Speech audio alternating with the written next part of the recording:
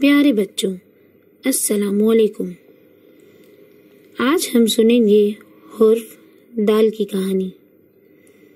दुआ के दांत में बहुत दर्द था और वो दर्द से रो रही थी। दादी ने दानियाल को दुकान से दवाई लाने भेजा। साथ साथ दूध, दही और दाल भी मंगवाई।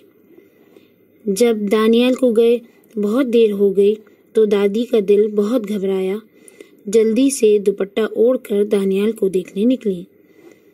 इतने में दादा दर्जी की दुकान से वापस आ गए। दादा ने कहा, परेशान न हो, मैं दानियाल को देख कर आता हूँ। दूर तक चलने के बाद दादा को दानियाल साहब एक दरख्त के नीचे खड़े नज़र आए और वो खड़े होकर दुम्बे देख रहे थे। दादा को बहुत गुस्सा आया।